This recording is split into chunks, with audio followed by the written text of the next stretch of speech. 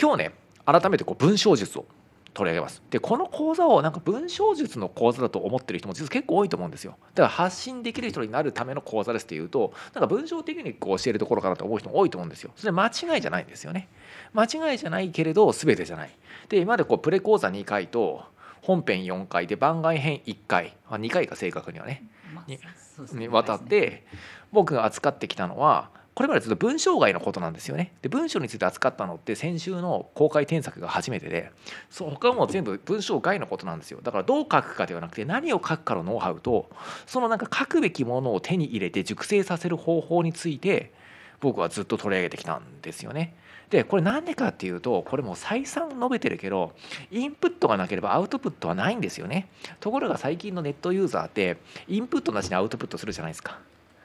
なんかそれ不倫した芸能人叩きますか叩きませんかだったら別に何のインプットもなくてもタイムラインの潮目さえ読んだらあのアウトプットできちゃうからね。あのあのそれっぽいなんかこうニュースをリツイートこれをリツイートしたら自分が賢く見えるようなツイートリツイートしますかしませんかだったらさ能力いらないじゃない。だからあのでもそういったアウトプットにやっぱり価値がないんだってところからこの講座って出発してるんですよ。なのであのインプットがなければ絶対アウトプットできないんですよね。えーだから僕は前半は徹底してインプットの方法とそれをどのように表現の素材に下ごしらえしていくのかということをもう半年ぐらいかけてやってきたわけなんです。うん、でここまで来て僕の考えでようやく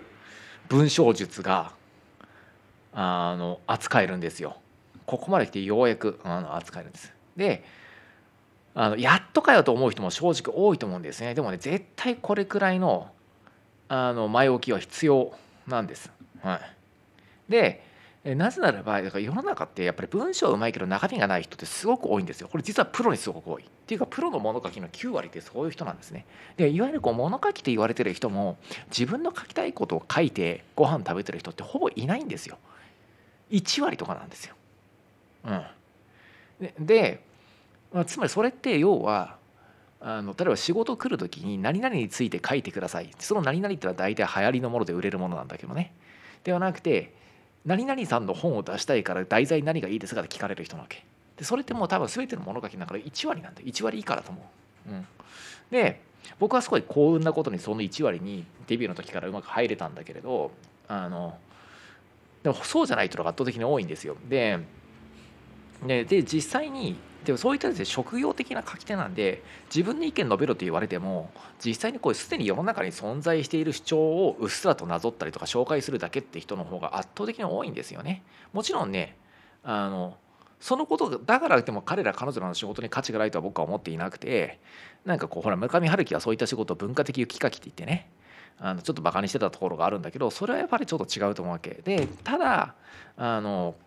この講座扱ってる人っていうのは別になんかこうプロのライターになって文化的な雪かきがしたいとかねいわゆるこうプロのライターになって副業がしたいっていう人ばっかりじゃないと思うわけ。だから業界人になりたい人とかプロになりたい人じゃなくてなんか自分の現場は自分の現場で持っていて自分の意見とか知見とか経験とかを世界に発信することで世の中と関わる回路をちょっと増やしたいっていう人がすごく多いと思うんですね。で僕はそういった人に向けてこの講座やってるつもりなのでだからなんかこの講座の受講生については文章は下手でももちろんろんうまいに越したことないですよ文章はね。うまいに越したことはないけど自分の意見をちゃんとあの世間の意見のどれをなんかこうあの選ぶかじゃなくて自分の意見を書くことがなんかこうあのできるような人になってほしいんですよねだから誰かに与えられた問いに答えるんじゃなくて再三言ってる通りね自分なりの問題設定ができることにつながった方がいいと思ってこの講座やってるんです。うんなのでどんだけ文章がうまくても世間とかタイムラインの空気読んでそこにどう乗っかるか逆らうかどうすればたくさん点数がもらえるか座布団もらえるかあのフォロワーが増えるかみたいなことしか考えられない人の表現っていうのは少なくともなんかそのオリジナリティというかね独自の価値は持ってないわけですよ。あので実際にねやっぱり文章が前プロよりもオリジナリティのあるアマチュアの方が具体的にその人の書いたものの価値が認められてボーンって世に出てくっていう可能性は圧倒的に高いはずなんですよね。あのなのでここをちょっと皆さん忘れないでほしいです。であとねあとここで1個ね僕差し込みたい問題があってそれ語り口の問題なんですよね。例えばあのこの国のテレビワイドショーとかバラエティ番組って視聴者の共感とか好感度っていうのを結構あの換金するためになんかこうマジ見てる人間のマジョリティの無意識をいかに先取りしてコメントするかああ分かる分かるとかねああこの人なんか好感持つ共感するとかねいいなと思うとかなんかこう見てる人間の無意識を先取りしていかに言うかっていうゲームなんですよねあれね。でこれ何が意味するかっていうとその人の意見の内容ってあんまり問われないってことなんですよ。つまりこう見てる相手がどう思ってるかっていうのを先取りしてこうだよねっていうことが求められるんであのでだからあのそれってやっぱりこうあの潮目を読んで述べるってことなんですよねマジョリティの考えて共感してもらえることをねだからあのだからそれだから僕はああいうものはだから基本的に根本的にダメだと思ってるあんま価値がないと思ってるはっきり言うとねうんであのその結果やっぱどこで差がつくかっていうとやっぱ語り口なんですよね。ああの例えばこう松本人志とかねあとあの糸井重里さんとか指原莉乃とか、まあ、誰でもいいんだけどなんかああいうなんかさ語り口がかたなんか中身がゼロでも語り口のすごい人っていうのがとにかくあのこのあの戦後のメディアでは中心に行ってたわけ。松本人志とかも語り口の天才じゃない。ね。でなんか松本人志のやっぱりすごいっていうことはさ松本のさ本当の面白さが分かるのは俺だけだって全員に押したことじゃない？一言で言うとね。ででもちろん松本中身もね当時はそこそこあったと思うよ。でも今の松本とかさワイドワイドナショーとか出てきてさバンと喋るとさもうただのさネットでよく見かけるちょっとネトウヨっぽい本音主義を言ってるだけでさ中身ゼロじゃん要は。あれ結構なんか松本の馬脚を表してる番組だと思うのね残念ながらね。今の松本のね。残念さを表してる番組だと思うんだけどあでもねビジネス的にワイドナショーって十分成り立つわけだからつまりそれなんでかっていうとそもそもああいったものは語り口だけが問われてるから自分の意見とか自分の見解とか問題そのものに対しての分析とか、まあ、一切問われてないからなんだよね。でつまりこうどう伝えるかの部分だけが今の世の中って洗練されていて何を伝えるかの部分がすっからかんになってるわけ。で僕はこれから皆さんに思いっきりどう伝えるかの技術を教えます。でも本当に大事なのは何を伝えるかの部分でそれは今までの4回の講座とプレ講座2回あと番外編1回2回のうちの1回っていうこのなんか7回ぐらいに僕が喋ったことの方が大事だってことは絶対に忘れないでほしいです。どう語るかのよりも何を語るかの方が大事です。はい。でこれから余計そうなっていく。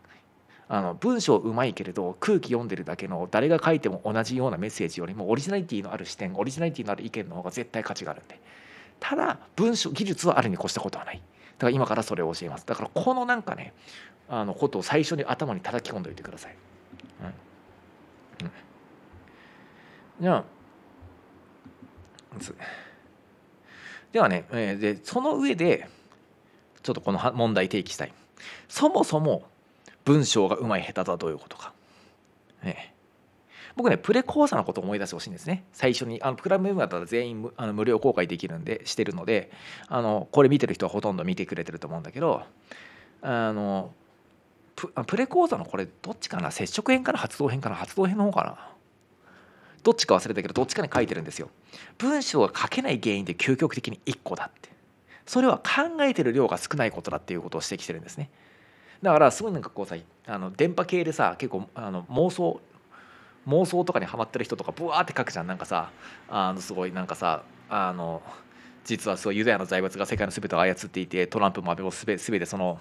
なんかあのロボットみたいなものであって実はあいつら UFO の真実を隠してるみたいなことを政治家のブログでうわーってさ5センチぐらい書く人とかいるじゃない。でああいった人ってさ考えてる量はすごいじゃん。まあ、質はなんかゼロというかマイナスなんだけどあのだからとにかくあの考えてる量があれば文章を書けるんですよね。でじゃあ書いた上で下手であるとはどういうことかってことから今日考えてみたいんです。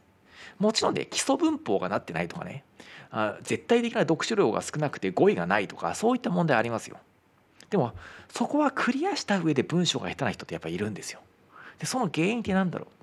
僕の考えシンプルなんですよ。それは自分のメッセージを自分で理解してないために混乱してるんです。そのことによって文って乱れるんですよ。これ間違いないですね。